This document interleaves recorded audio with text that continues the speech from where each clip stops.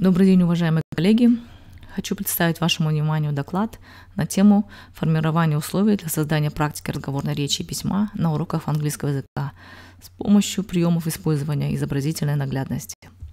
Доклад подготовила учитель английского языка гимназии номер 40 город Тарас Стамбекова Назимбериковна. Для начала хочу остановиться на разновидностях наглядности.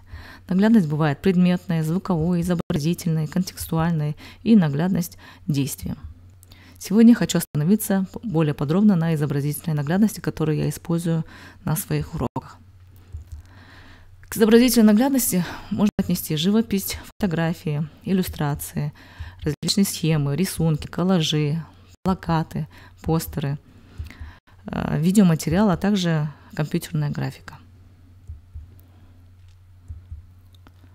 Условия использования наглядности отличаются простотой подготовки проведения задания, смысловой значимостью задания и учебной оправданностью самого задания.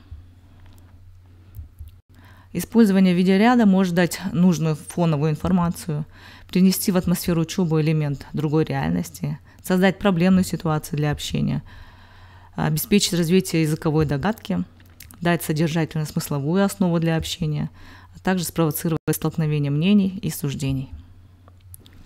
Способы систематизации изобразительных материалов в кабинете я использую по темам, но также можно использовать по типу изображений, по формату.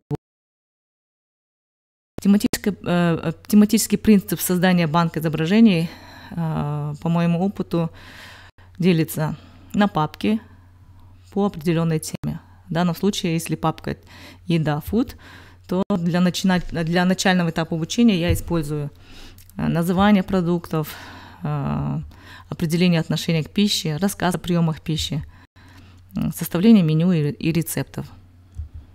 То есть вот такие картинки можно применять на начальном уровне.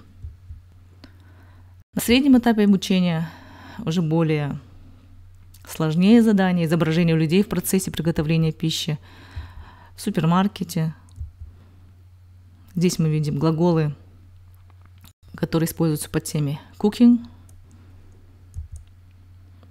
на старшем же этапе обучения идут еще усложнения задания, понятия здоровой и нездоровой пищи, понятия национальной кухни, национальной культуры, блюда разных стран, поведение за столом, рацион питания, понятия полуфабрикаты, болезни как следствие неправильного питания.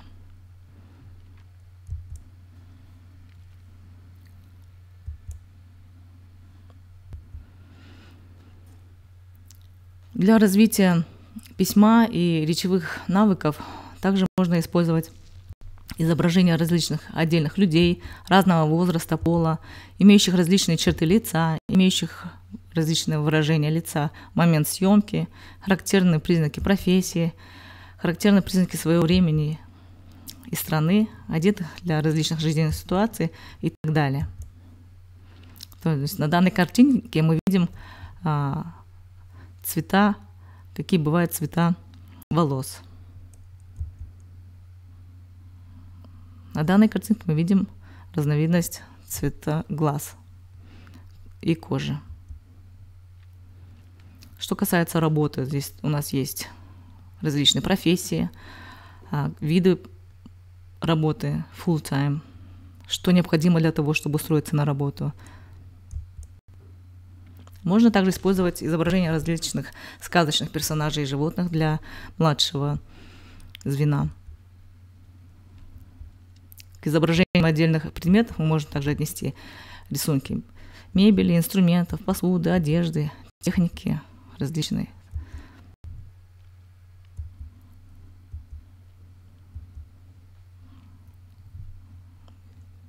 Здесь мы видим кухонные принадлежности, описание э, квартиры, э, дома, комнаты.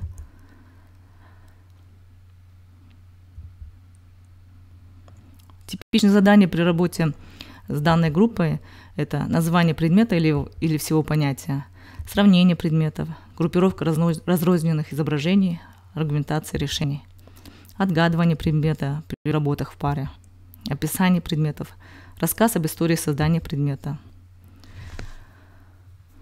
Здесь мы видим на картинке сравнивания, то есть противоположные значения слов.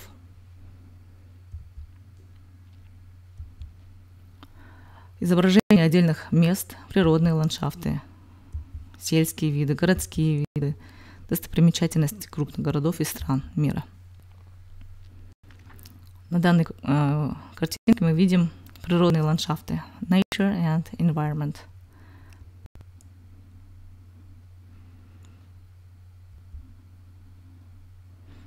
картинки сельской местности, городской, природы и достопримечательности. Также можно использовать бытовые жанровые сценки с людьми в различных местах и жизненных ситуациях. Формальные и неформальные встречи, исторические сценки, случайные группы людей. На данной картинке мы видим а, черно-белые рисунки, что представляет широкую широкое поле для фантазии учащихся. То есть здесь можно использовать различные цвета, различные ситуации, а, диалог. Типичными заданиями могут быть беседы, дискуссии, составление рассказов по картинке, нахождение общего или отличного, развитие и контроль общих филологических знаний. Сложные изображения, перегруженные информационными деталями можно использовать для детей более старшего звена, где мы можем показать исторические полотна художников, сложные коллажи, фотографии со многими людьми и предметами, рисунки, серии тематических картинок, последовательно рассказывающих историю какую-либо. Типичными заданиями могут быть на тренировку внимания и памяти, на воображение и логику. Также можно использовать карты, схемы, знаки, символы. То есть для изучения, например, времени можем использовать уже готовые картинки. Абстрактные, неоднозначные изображения, фотографии, представленные фрагментально, фотографии с философской авторской задумкой. Абстрактные, неоднозначные а, изображения, показывающие чувства.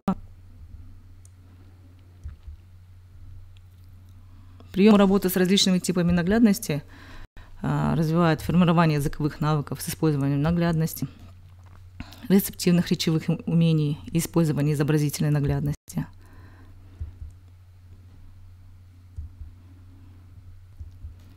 Более детально я сейчас остановлюсь.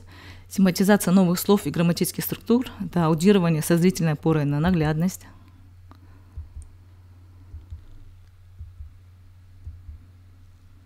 Отработка новых слов и грамматических структур – игры на отгадывание с использованием одной картинки, зрительные диктанты с последующим названием и запи- или записыванием увиденного, а также актуализация новых структур на уровне предложения, тренировка памяти, отработка новых слов. Формирование рецептивных речевых умений с использованием наглядности мы можем отнести определение лишнего изображения соответствия, а также аудирование, чтение задания на выстраивание информации в логической последовательности. Формирование продуктивных речевых умений с использованием изобразительной наглядности – это монолог рассуждения, письменный текст описания или устный монолог описания с одним письменным аудированием. Диалог-расспрос, написание вопросов разного типа. Монолог сравнения в устной или письменной форме – Мозговой штурм, монолог убеждения или рассказ. К рассказу мы можем а, добавить составление рассказа с опорой не на одно, а на несколько сюжетных картинок. Монолог рассуждения – комментирование изображений, высказывание мнений по сюжету, индивидуальная, групповая или парная работы. Формирование социокультурных и гуманитарно-филологических знаний и умений – мы можем сюда отнести соотнесение портретов, группировка изображений по историческому принципу, группировка изображений по астрономическому принципу, проведение заочных экскурсий, комментирование, составление статей, отчетов – это уже для более старших классов.